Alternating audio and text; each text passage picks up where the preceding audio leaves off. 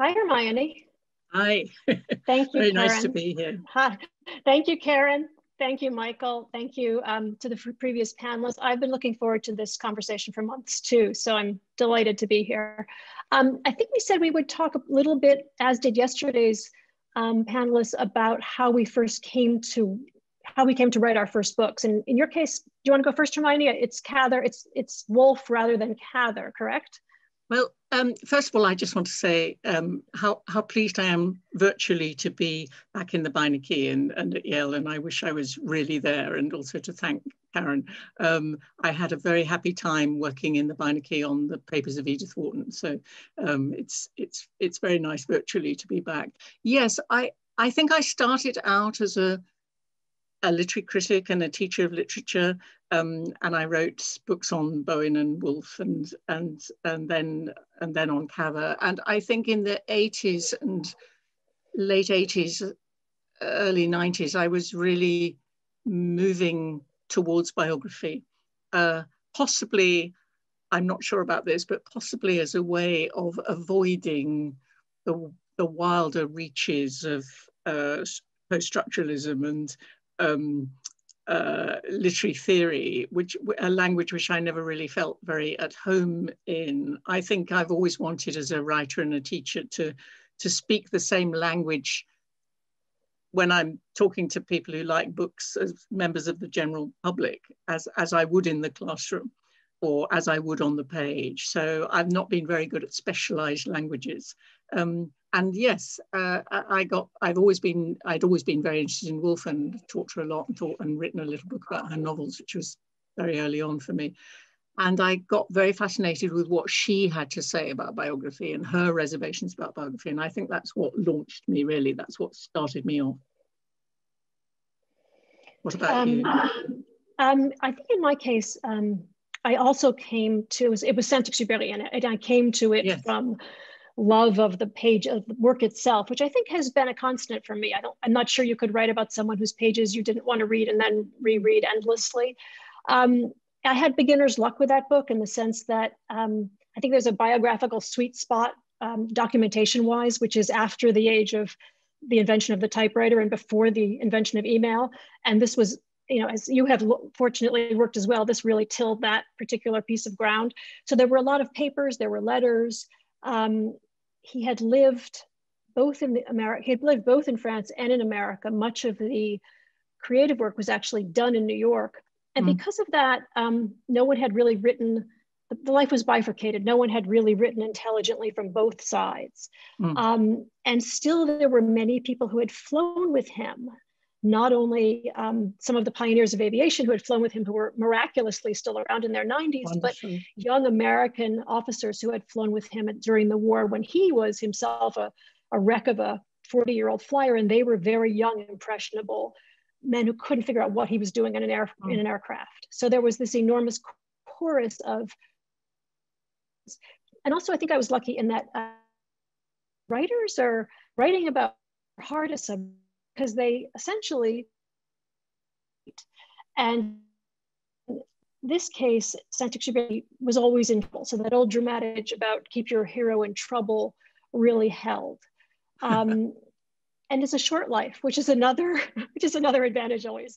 Um, yes, always. It's know, very, and also you, it's it's unusual, isn't it, to have a to have a writer who is also a, a, a daring man of action. Uh, uh, yeah. I mean, whether you're writing about a man or a woman, that's not so common. Most writers are sitting in their rooms. And we can talk about this, but there's a penetration too of the work and the life. I mean, much of the work, although billed as um, fiction, and obviously The Little Prince isn't, doesn't fall in this category, is memoir. And so there's a, it was a very it was a particularly rich vein in terms of connecting work and life. And even by the time you get to The Little Prince and um, like as was the case with Lorraine Hansberry with Shirley Jackson, this was an author who was known primarily for one book today. Um, you can begin to unravel parts of the life that have got into it. And I'm very struck by your saying that you start from the you start from the basic point of view that you're interested in the writing and that you like the writing. And I think in that we're very alike. I mean, I couldn't imagine writing about um, any subject other than a literary subject, although it's been very interesting for me to move from writing about novelists to writing about a playwright. Um, but I also couldn't imagine spending five or six years, as one does, on a writer that I didn't enormously admire and like. And so that's a given, I think, for both of us. And then the task is, is all the time to work out. I mean, I know you've written on on Cleopatra and, and Franklin, who are other things than, than writers. I mean, Franklin is obviously also a writer, and Cleopatra has her own uh, um, challenges. But but for me, it's always going to be writers. Um, uh, and then there is how you do that transition and that negotiation between the work and the life, because it's not straightforward and it's not simple. So that, for instance, if you're writing about a subject who is constantly going back in time, like uh, in my case, Penelope Fitzgerald, who will write a novel 12 years after the experiences of you know living on a sinking barge on the river thames or something like that. And then you know many years later she'll write offshore. Uh, you have the you have the simple questions of structure like do you do you write about the events of that novel at the time that she's living it or do you save it up and write it write about it when she's in in the chronology? So all those structural things become very fascinating when you're trying to juggle the life and the work. Well, that's actually brings me to something that you did so artfully, and obviously I want to talk about Stoppard Desperately here, but you you bring rock and roll, which is what a 2006 play, I think, into the story 70 years before it's written, and you and you just manage somehow to to fold it into our narrative. So, was there a conscious sense of wanting to integrate the two for early yes. on in the in the pages? I'm terribly glad you you spotted that because you always are a little nervous if you bring something in long before its time is due, as it were, in the in the life story. But because I was telling uh, this very dramatic story of the family's flight, first from Nazi invaded Czechoslovakia and then from Japanese invaded Singapore, um, during the course of which his father, Tom Stoppard's father, was killed, and the and the family, the mother taking her two little boys to to India and, and beginning to bring them up there, and then and then moving moving to England. Um, uh, clearly, right from the beginning of the story, there's an, a tremendous element of luck and chance, uh, and in his case, good luck uh, so that, for instance, his mother didn't take them back to communist occupied Czechoslovakia as it then was after the end of, of the war. And so many, many decades later, uh, in 2006, uh, he came to write this play called Rock 'n' Roll, in which there is kind of uh, somewhat suppressed, but there is a sort of alternative life uh, lived by a character who does uh, choose to go back from England to Czechoslovakia and does grow up uh, under Soviet uh, oppression in, uh, in Czechoslovakia. And his original name in the play was Thomas, which was Tom Stoppard's original Czech name. He ended up being called Jan. Um, but I thought it was right to point, just to point to that right at the beginning, so that we could see when we came back to it how the curve of the life had led to the writing of that play and then onwards again to the writing of his most recent play, Leopoldstadt. So can we talk about that transition that you made from um, writing about novelists to writing about a playwright and, and more to the point, writing about someone who is, perish the thought, alive. Um, I'm thinking about this wonderful story that you probably know that Harold Nicolson tells, where in a biography of Edward VII, the notorious glutton, um, came up the question of how to treat his gluttony, how diplomatically to write about a man who essentially pounced on his food at the table. And I think the biographer's formula became something like he was a man of splendid appetite who never toyed with his food. so, so I would have said question, he was a glutton. so would I, but but right. times have changed. Um, but Mike, but so my, have you? Did you feel yourself, or do you feel yourself, especially in a case like this one, um, protectively whitewashing or needing to protectively whitewash in any way, and just more generally, how was it to write about a subject who's still with us. Yeah, well, it's sort of a double question, really, isn't it? It's moving from novels to, to, to plays and also writing about a living subject. I mean, you and I have both had the experience before this of writing about a, a subject who is recent enough in this world for her relations uh, to still be living. So um, in your case, you had some Nabokovs still on the scene. Uh, and in my case with Penelope Fitzgerald, the grown-up children of Penelope Fitzgerald, uh, and indeed many of her friends, were all very alert to what I was doing. And the, the Penelope Fitzgerald's children were very generous and helpful to me, but they were also sensitive. And so one would be if one's mother was having a life written of her, you would be sensitive. Right. Um, so that's not always straightforward. Um, so going from writing about novelists, writing about playwrights, that was fantastically exciting for me. And that was the big challenge because I'm not a fully paid up theatre person. I mean, I love the theatre and, you, you know, I've, I've, been interested in his plays um, forever.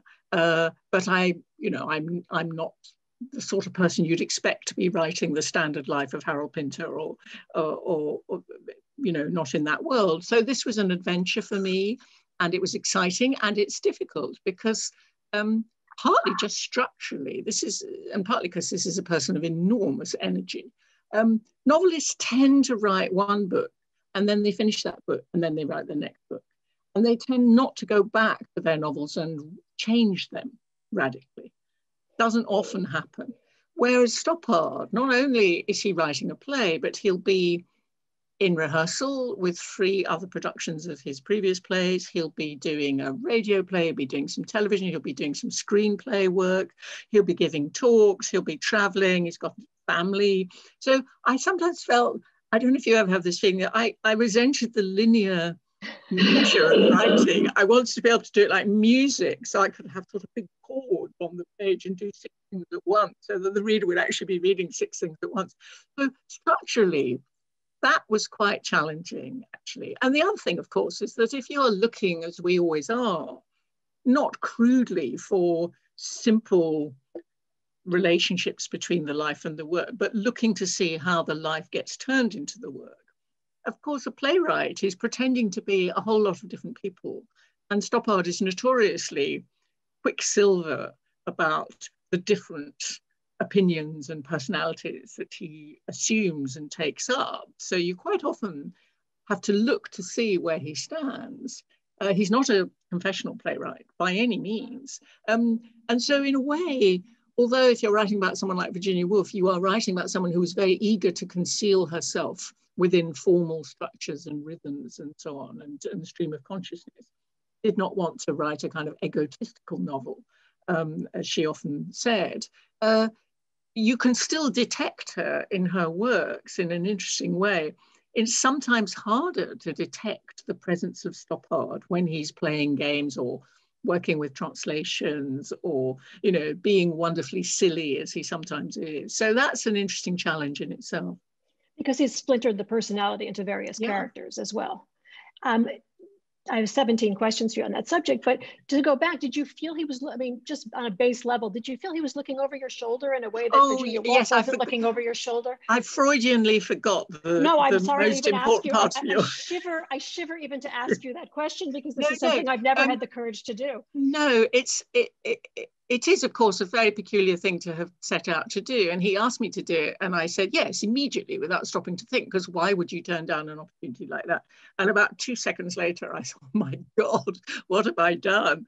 Um, actually, it was a very interesting process. It's, it took about six years, during the course of which I had a, a number of, probably a dozen very long conversations with him in which nothing was off limits, although I could tell when he was getting bored because I was asking him things he'd often been asked. And then occasionally I would ask him something which I thought was rather minor, like what kind of clothes did he wear in the 1970s? And then there was a fantastic riff about Mr. Fish shoes and all these ruffles and scarves and things, Paisley shirt. You know, that was great. So you never quite knew when he'd fire up. Uh, the things that were clearly not exactly off limits, but which he, he wanted me to be uh, careful about, were the lives of his four sons, who are all grown up and living their lives and have their own families. And that seemed to me absolutely correct, that if you are writing the life of a, a living subject who has a living family, you're not writing their life story. You shouldn't be going into areas which would be embarrassing or difficult for them. Of course, they need to be characters in Tom Stoppard's life when they are children growing up with him as their father. Because one of the things that people don't know about is Tom Stoppard as a father. Uh, and so I did do quite a lot of descriptions of this shattered figure who'd been up all night writing the real thing, appearing in a sort of silk dressing gown at the family breakfast and hiding behind a cloud of cigarettes and his newspapers every morning, because I find that very funny, um, because that was sort of their image of him. Um, for quite a while, but he was clearly a, a good and loving and friendly father, uh, and a very and still is, you know. So uh, that was that. I had to be. I needed to be careful with that if you are writing the life of a living person who has been involved with a large number of other people who are also alive, you have the benefit of talking to some of those people. Uh, you have to also be aware that they know that what they say is going to appear in the book you are writing about him and that he will read it. And so they don't want to be horrid about him. because they want to keep their friendship with him.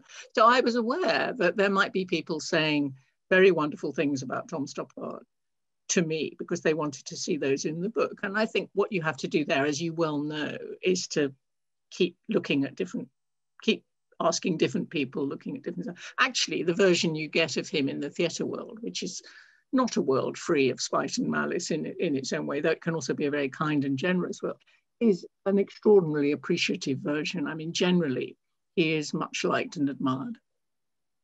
I feel as if that's one of the pitfalls. And the other obvious one is the um, self-aggrandizement of the living witnesses. I cannot tell you how many Wellesley girls assured me they were the she was the model for Lolita, or the number of people who absolutely had been the person to give Saint-Exupéry his watercolors with which he painted the Little Prince. I mean, there's a certain sense of putting yes. survivors putting themselves back into the drama yes. or telling things which are completely wrong, by the way. Isn't it extraordinary? You'd think people would run a mile rather than be identified with Lolita. Apparently not. I can give you the list. Um, but it, it's, it's hard because, you know, where you have that wonderful Greek chorus, but there's also the, the, you know, there's that old Russian adage about no one lies like an eyewitness. And yes. you do, you know, I do, you do sometimes feel you have to discount or at least vaguely distrust um, some of that testimony, as rich as it is, and as much as one misses it when one heads back further back into the past. It's an interesting thing in the context of the theatre world, because uh, which is mainly his world, although he's also involved in movies as well, and, and in radio. Uh, but in the theatre world, what, although he is a person who likes to go on working with the same people, so he has had a sort of team around him and very important directors such as you know Peter Wood in the early days, who who did a number of his his plays.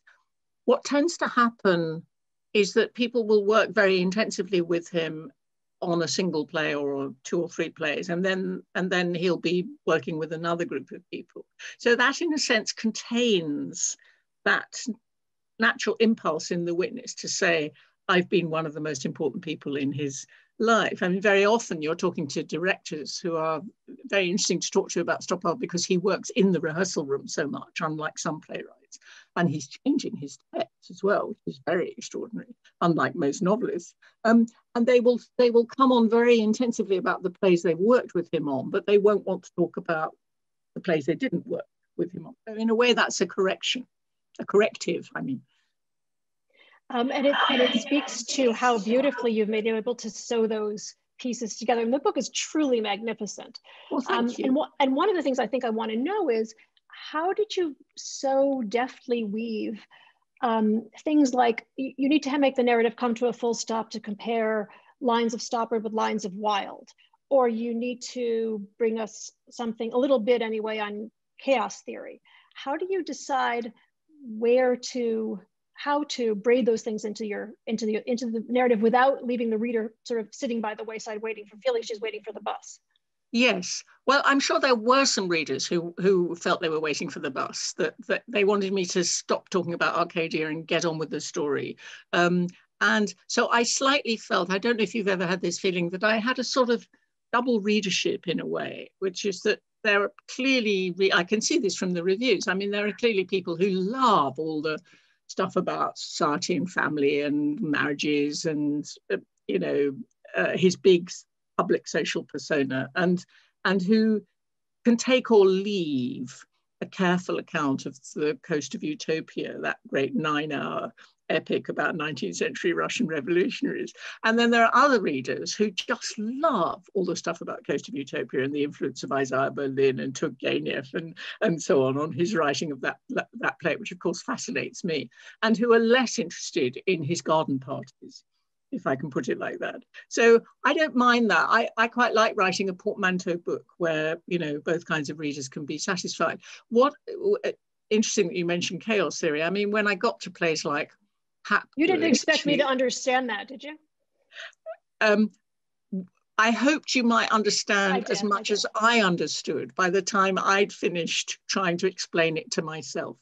I think that's what I was doing. I was running along behind him. He has this astonishing sort of capacious and magpie mind where he, you know, all kinds of ideas will come and there will also be an extraordinary yoking together of ideas you don't expect to be yoked together. So in Arcadia, you've got chaos theory, you've also got um, Byron, and you've also got 18th century landscape gardening. Um, and nobody else puts that together in one play, actually.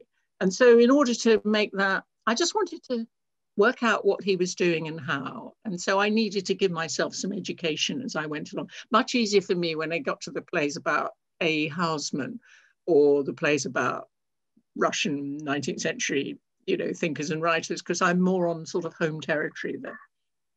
So the feeling is somehow gather it together and let the reader make his decision about what he might like to read or what she might not like to read.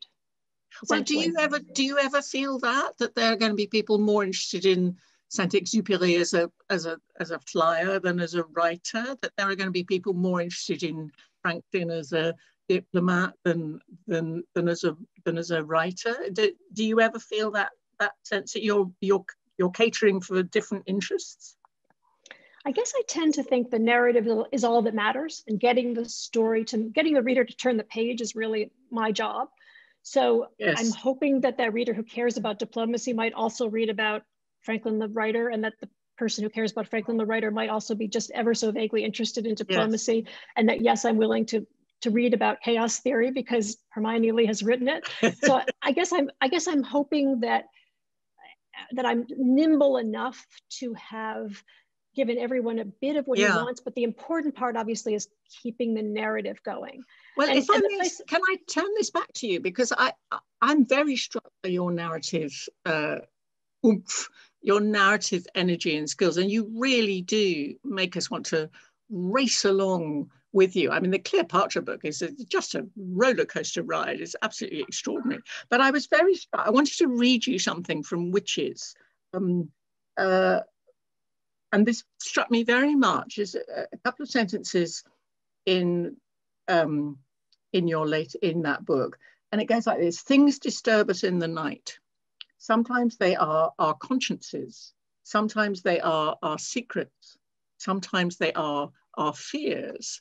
And I thought, gosh, that's a very remarkable thing to do in a in a historical biography of this, you know, this the witches of um, the witch trials in Salem, because you make us immediately feel this book is this matters to me. This book is going to get me where my own fears and secrets and anxieties are. So you you clearly think about that, don't you? How to how to lure in the reader to make them mind part of that was not simply luring in the reader, but being able to place what seems this utterly delusional um, moment in time in some sort of rational context and to make them make these people feel less cardboard more mm. approachable more like us um, because and i think this is why i started the book where i did and i want to talk to you about beginnings um, it starts with a woman who's um, flying to a satanic sabbath um, on a stick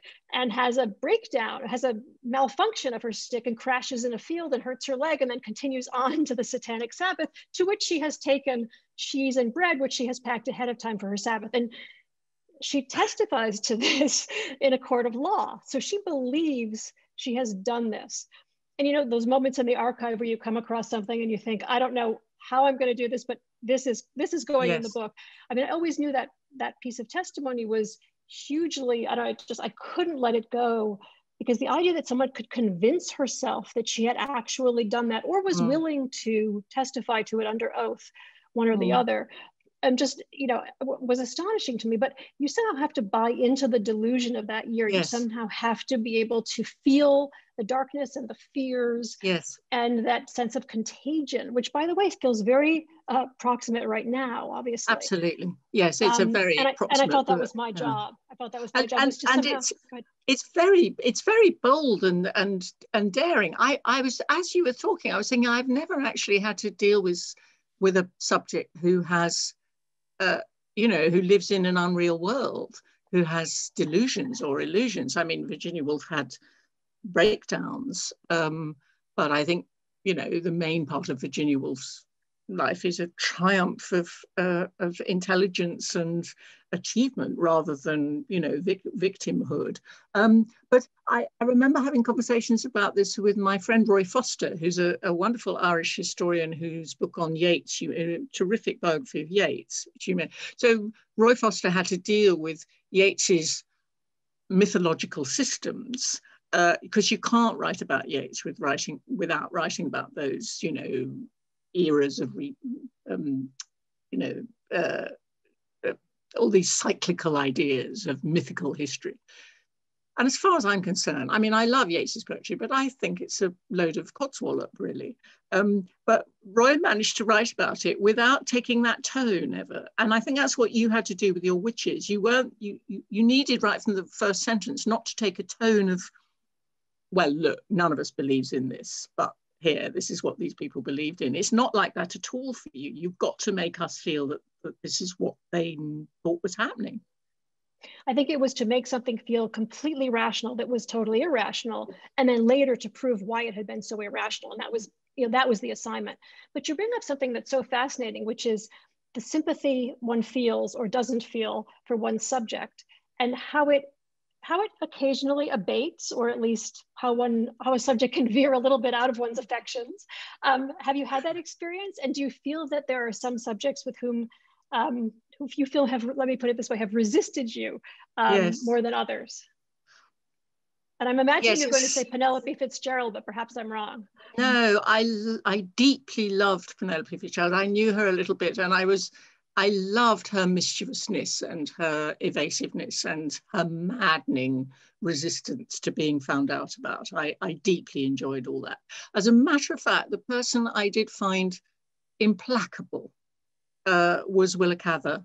Um, I'm, I'm a great admirer of Willa Cather's work, and I still can't read My Antonia or The Professor's House without tears streaming down my cheeks. I, I think she's just a, a, a genius as a person to write about, and I was writing in the era of prohibition when the letters, the many, many letters that she wrote had not yet been allowed to be published. I think that they had to wait for the very last second cousin to die before the will could be overturned, which is an extremely, you know, and she she hated, I mean, like many people of her era, but she hated the idea of publicity and of intrusion into her life. As a result, of course, she got the worst of all possible worlds because everybody told her story um, and told about her, her feelings of love for her women friends, all of all of that, and her, you know, cantankerous treatment of her family quite often.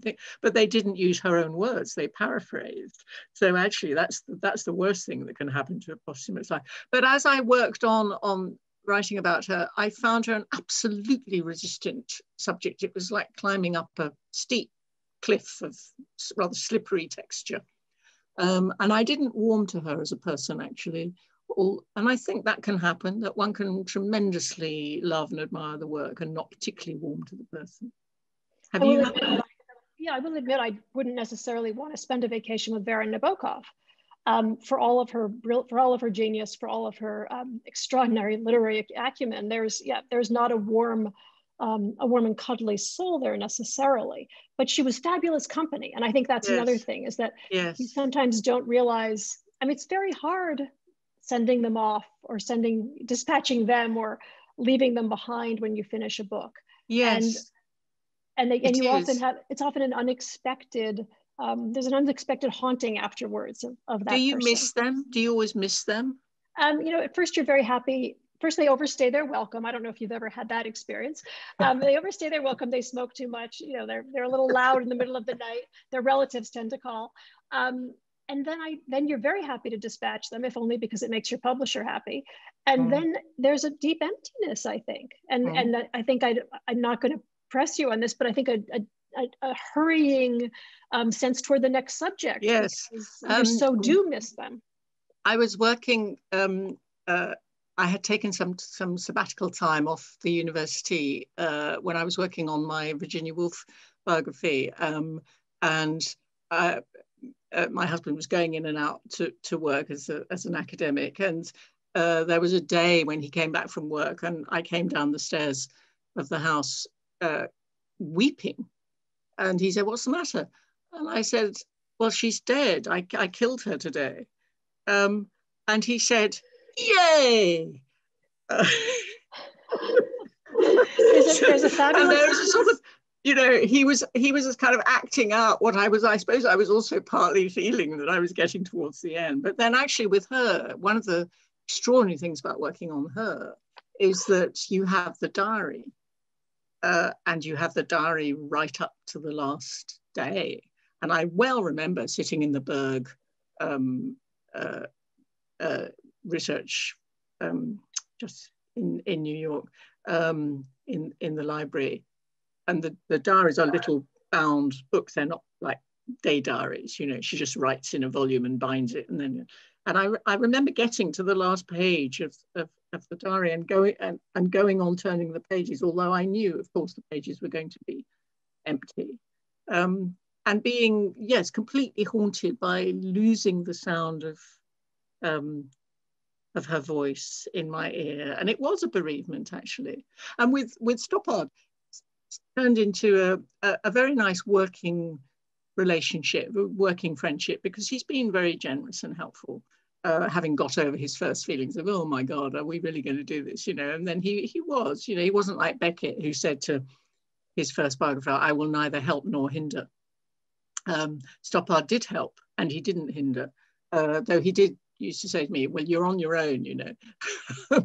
but he gave me some source material of the utmost importance. And we had these conversations. And then, you know, I'm sure I'll still bump into him here and there, but that working relationship is over. And yeah, I shall really miss that. That was a very nice part of my the last six or seven years of my life. I think that I think the "you're on your own," you know, is the biographer's motto. Just for the record, um, there's an opposite um, version of what you just described with killing off the subject when he kills off Henry James about how um, basically writes the last line. He's completely happy to have dispatched James and he puts on a coat and tie and he goes to his club and he's as happy as can be because he's essentially unloaded his subject of, of many years. And, the, and he tells the first person to whom, whom he meets, with whom he's having a drink, that he's just basically killed off James. And, and the friend is just utterly undone. Like, what will you do now? How, you know, your poor thing, you've killed him off. And it's exactly the opposite of, of your husband's moment of triumph. Um, if you have a big reveal, if you're part of the way um, through a biography, and you know you have to work up to something like a secret from a from your subject's past that he hasn't yet come to terms with, do, do you feel? I'm wondering how you decided to slip Stoppard's Jewish revelation into the into the talk magazine um, coping with it. And if you felt you had to telegraph in advance that we had this enormous, um, enormous piece of information coming that was really going to thoroughly color his next years of work. Well, I I I wanted I wanted to tell the story um, pretty much as it unfolded, rather than. I mean, I did do that little bit about Rock 'n' Roll early on because I felt it needed to be there as a pointer. But otherwise, I tried actually not to anticipate or forecast or preempt. I don't much like doing that. Um, and one of the extraordinary things about this story is that this is someone who grew up as an assimilated English public school boy from the age of eight, uh, who knew very well that his father was Jewish and and that, that, and knew very and knew perfectly well that his mother was Jewish too, but had never really inquired into what had happened. He knew his father had been killed trying to leave Singapore.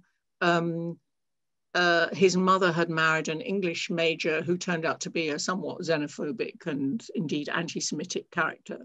And she completely, as many people of that generation did, she, uh, she, she tried to assimilate for the sake of her boys. She didn't speak Czech at home. She didn't talk about her past. She didn't tell her children that a number of members of her family uh, had been killed in the Holocaust. Um, we don't know when she found that out. Uh, it wasn't until Stoppard met a cousin uh, of theirs who drew his family tree for him on the on a napkin of a restaurant table at the National Theatre. And he, he says to her, Sarka, were we Jewish? I, meaning entirely Jewish? And she says, of course you're Jewish. Um, and she then tells him what's happened to all these relations in the family tree? And the answer is Terezin and Auschwitz. And that actual scene is, replay, is written in the article that he wrote uh, in the 90s, um, on, which was called On Turning Out to be Jewish. I don't think he gave it that name. And then returns in, in Leopoldstadt as the climax of, of Leopoldstadt. Now, it wasn't that he didn't know his parents were Jewish, it was that his mother associated Jewishness with the Orthodox Jews that she would see in Zlin, in, in what was then Czechoslovakia. She was not a practicing Jew. She was not a particularly religious person. She was not a believer. She, as, as, as he said, and as has happened to many other people, it was Hitler who turned her into a Jew, who made her aware of her Jewishness.